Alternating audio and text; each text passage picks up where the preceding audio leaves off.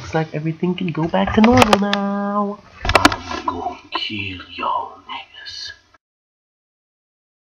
What the hell did you just say, little nigga?